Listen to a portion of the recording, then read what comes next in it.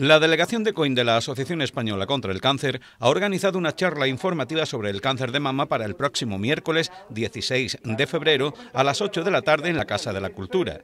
La ponente será Araceli Rocío Romero Dorado, doctora especialista en cirugía general y digestiva y coordinadora de la unidad de mama quirúrgica del Hospital José Molina Orosa de Lanzarote. Ella va a intentar, eh, como bien decimos, informar, enseñar, explicar sobre el conocimiento de nuestro cuerpo, sobre cuál puede ser el origen de esta enfermedad, el tratamiento, el diagnóstico y sobre todo el tratamiento a día de hoy. En este caso es sobre el cáncer de mama, sobre el tratamiento y a día de hoy los avances que hay eh, tanto en reconstrucción como en, en todo lo que concierne a esta enfermedad, al cáncer de mama. La charla estará abierta al público general y la entrada será libre, aunque con aforo limitado por el protocolo sanitario. La conferencia está para todo el público Normalmente las mujeres quieren estar más informadas, seguramente el público será más bien femenino, pero para todo el público. Y nada mejor que una buena información para plantarle cara a esta enfermedad.